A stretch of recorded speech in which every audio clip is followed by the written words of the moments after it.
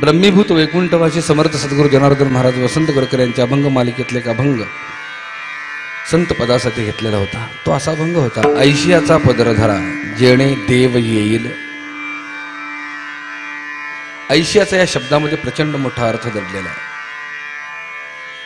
आणि तो अर्थ असा आहे ऐशियाचा म्हणजे आशांचा हात धरा की ज्या कारणाने देव आपल्या घरी येईल. आशांचं म्हणजे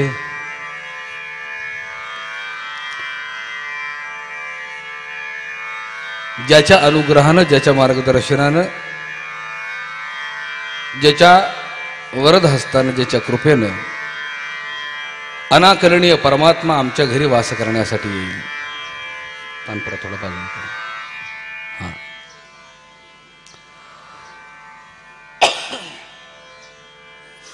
म्हणून आशांचा आशांचा म्हणजे जो त्या गावाला जाऊन आलाय तिथला अनुभव घेतलाय. नव्हे नव्हे. ज्या गावाला गेला तो गावच होऊन राहिला. अशांचा हात धरा. मग तेणे देव येईल घरा. म्हणून ज्ञानोबराने जाणतेने गुरुभजीजे. ऐश्याचा पदर धरा. जाणतेने गुरुभजीजे. जाणून समजून ओळखून सद्गुरूला शरण जा. का? एका सद्गुरूला शरण गेलात तेने कृतकार्य होई जे जैसे मुळे सिंचने सहजे शाखा पल्लव संतोषते. जैसे डोळे अंजन भेटे तै मग दृष्टीस फाटा फुटे. वास पाहिजे तेथ प्रगटे महानिधी. का चिंतामणी आली आहाती? मग सदा विजयवृत्ती मनोरथी मी पूर्णकाम निवृत्ती ज्ञानदेव म्हणे. म्हणून ऐशांचा पदर धरा. आणि एक गोष्ट सांगू. प्रपंच किती उन्नत असला. संपत्ती धन दौलत पैसा अडका मान ह्या सगळ्या गोष्टी आहेत. पण तरी सुद्धा आपली अवस्था बेचैन असते बघा. अस्वस्थता असते आपल्याला. कारण का? सुखात दोन प्रकार आहेत. एक वस्तुसुख आणि एक आत्मसुख. वस्तुसुखाला मर्यादा आहे ना? आत्मसुखाला मर्यादा नाही. आत्मसुख हे अमर्याद आहे. वस्तूचं जोपर्यंत अस्तित्व आहे तोपर्यंत त्यातून मिळणारं सुख हे टिकतं. वस्तू संपली कारण वस्तूला नशिवरत आहे. वस्तू संपली हो. की त्याचं सुखही संपतं. पण आत्मा हा चिरकाला टिकणार आहे. पूर्वी होता आत्ता आहे आणि पुढे राहणार आहे. त्या जर आत्मबुद्धीत तुम्ही मी वाटचाल करू लागलो त्या आत्मबुद्धीत जर अखंडपणे स्थिरावलो तर पाठीमाग चालत आलेलं आत्ता हे पुढेही राहणारं जे सुख आहे ते तिन्ही सुख तुम्ही आम्ही उपभोगू शकतो. पण कधी? आत्मबुद्धीत राहिल्यानंतर.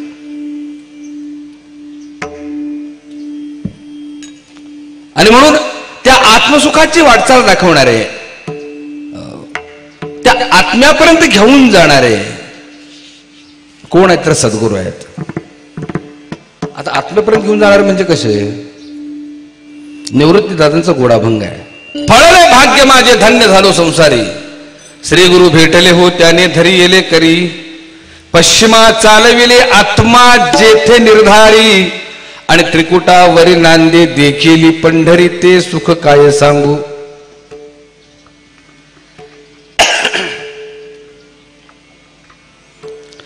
माझं भाग्य फळाला आलं. का फळाला आलं? तर या मनुष्य देहात मी जन्म घेतला. धन्य झालो संसारी. निवृत्तीनाथ तेच सांगतात. पुढं काय सांगतात? श्री गुरु भेटले हो. माझ्या आयुष्यामध्ये गहिनीनाथ आले. हो. त्यांनी माझ्या हाताला धरलं. श्री गुरु भेटले हो त्याने धरियेले करी. आणि घेऊन कुठे गेले? पश्चिमात चालविले आत्मा जेथे निर्धारी. पश्चिमेला घेऊन गेले. कुठे घेऊन गेले? पश्चिमेला. आता पश्चिमेला घेऊन गेले म्हणजे इकडं रायगड महाड इकडे घेऊन गेले का काय? तिकडं काय आहे का? मग कुठे घेऊन गेले? पश्चिमेला म्हणजे नेमकी दिशा कोणती?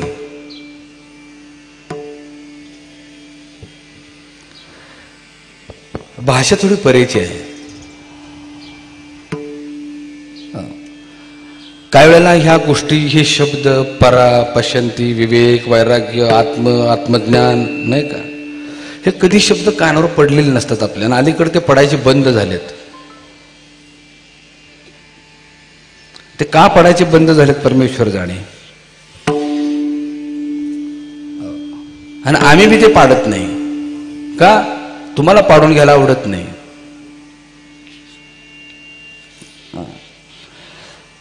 आणि म्हणून तुम्हाला हसवण्यासाठी आम्ही हसवण्याचा प्रयत्न करतो. हो पण आम्ही हसवत हसवत आमचं कधी हसवतं हेच कळत नाही. म्हणून मनाचा कान करा. भगवंतानी कुरुक्षेत्रावरती कुरुक्षेत्राच्या मध्यभागी अर्जुनाला उपदेश केला.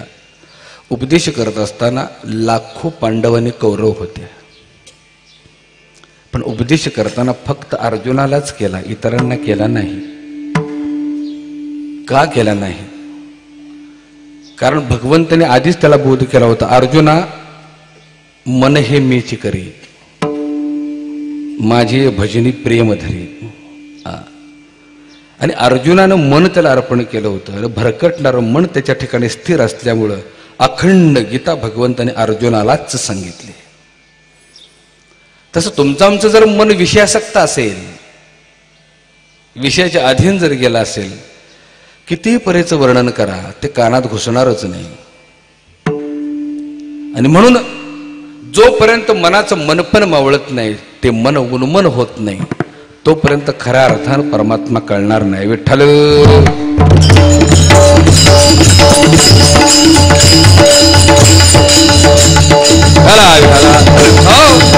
पश्चिमा चालविली आत्मा जेथे निर्धारी. आता म्हणजे पश्चिमा म्हणजे आता थोडक्यात सोपा प्रश्न. पूर्व दिशा म्हणजे काय? उगवतीची दिशा. आणि पश्चिम दिशा म्हणजे मावळतीची दिशा. अर्थ आपण तो घ्यायचा आहे. मावळणं शून्य होणं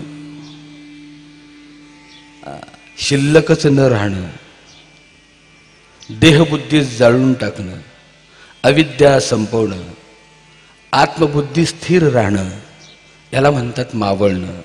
आणि सद्गुरू काय करतात? तर मावळ तिच्या दिशेला घेऊन जातात. आणि साधकाची हो हरिभक्ताची दिशा कोणती आहे? तर मावळतीची दिशा. म्हणजेच काय? तर पश्चिमेची दिशा.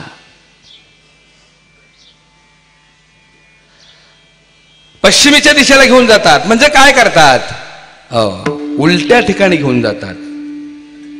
वास्तविक पाहता संतांची दिशा ही सरळ आहे पण तुमच्या आमच्या दृष्टीने ती उलटी आहे.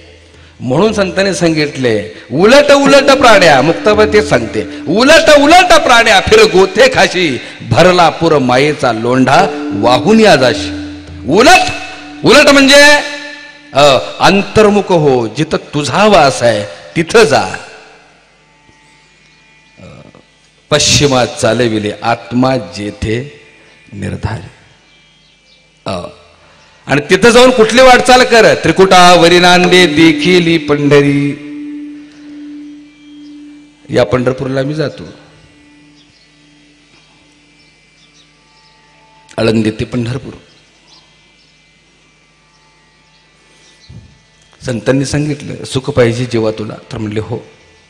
सुखा लागी करशी तळमळ तरी तू पंढरीशी जाय एक वेळ. पण संतांची पंढरी आणि तुमची आमची पंढरी जमीन आसमानचा फरक आहे बरं. तुम्ही आम्ही वर्षातून एकदा आषाढी करतो दोन वेळा करतो कार्तिकी असेल. चार वेळा करू माघ असेल चैत्र असेल. पंधरवड्याचे करू म्हणजे वर्षातनं मी किती वेळा करतो?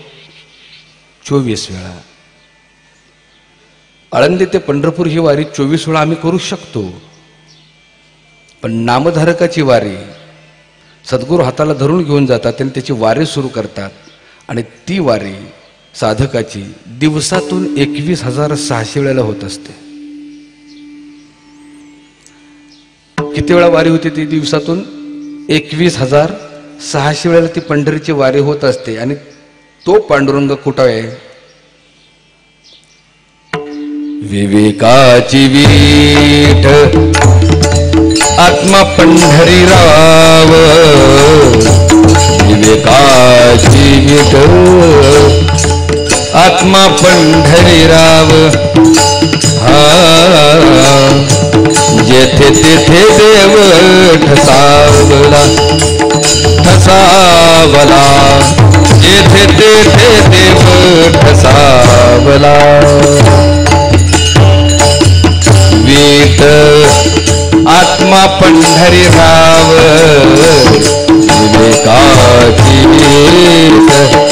आत्मा पंढरी राव. जेथे तेथे देव ठसावला ठसावला. जेथे तेथे देव ठसावला.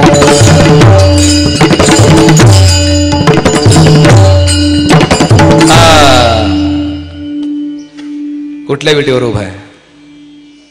विवेकाची वीट. तुमचा आमचा पांडुरंग पंढरपूर सोलापूर जिल्ह्यातल्या पंढरपुरामध्ये दगडी विटेवर उभा आहे. पण तुकोबारायांचा पांडुरंग विवेकाच्या विटेवर उभा आहे. आणि तुकोबाराय तिथं जातात त्या पंढरीला जातात. संतांनी वर्णन केले मग असे सांगितलं पंढरीचे मी- जाता पंढरीशी सुख वाटे पण तुकोबऱ्यांचे त्या पंढरीचं वर्णन तुकोबराने असं केले आ सहज मी आंधळा गा याचं जे द्रौपद आहे सुखे मी निजलो गा शून्य सारुणी तेथे. त्रिकुट शिखरी गा दान मिळे आयते त्रिकुट शिखरी गा बरं. आता त्रिकुट शिखर म्हणजे त्रिकुट पर्वतावर जायचं काय? रजोगुण तमगुण आणि सत्वगुणाच्या पलीकडची जी अवस्था आहे ती अवस्थामध्ये विधेयी अवस्था तीच अवस्था म्हणजे वैकुंठ भवन भ्रमणाची अवस्था लक्षात ठेवा. योगायोग इतका छान आहे परवाच तुकोबर आहे वैकुंठ गमन करते झाले. आजचा तिसरा दिवस आहे. परवाच मी नांदेडला वैकुंठ गमनाचं कीर्तन करून आलो. तुकोबऱ्या सदेह वैकुंठाला गेले म्हणजे. तुमच्या आमच्या दृष्टीने तुकोबऱ्यांना भगवंत न्यायला आले ते गरुडावर बसले आणि गरुड गरुडासह विठोवासह तुकोबऱ्या वैकुंठाला वर कुठेतरी गेले आणि चित्रपटात मी तसंच दाखवले. ते गेले पण त्याच्यानंतर मात्र आम्ही काय पत्ता शोधला? हुडकार कोणी गेले का? नाही नक्की कुठे गेले तुकाराम महाराज? एक गोष्ट लक्षात ठेवा. आधी ज्या गावाला गेले त्या गावाचा पत्ता नीट नीट समजावून घेणं महत्वाचं आहे. नुसते तुकोबराय जाऊ शकतात असं नाही तर तुम्ही आम्ही सुद्धा जाऊ शकतो. वैकुंठाला. आता तुम्ही म्हणाल वैकुंठाला म्हणजे महाराज काय आम्हाला जिवंतपणे स्मशानात नेता का काय? कारण अलीकडं तो एक नवीन एक फॉर्म्युला निघालेला आहे. स्मशानभूमीचं नाव काय? वैकुंठ धाम म्हणजे चौघांच्या खांद्यावरून जाणं म्हणजे वैकुंठाला जाणं असा आमचा भ्रम झालाय. आम्ही वैकुंठवासी. आलो याच कारणाशी बोलिले जे ऋषी सातच भावी वर्ताया. तुकोबरात तेच सांगतात. आम्ही वैकुंठातून आलो. आपला कार्यभाग झाला की आपण आपल्या वाटेला लागावं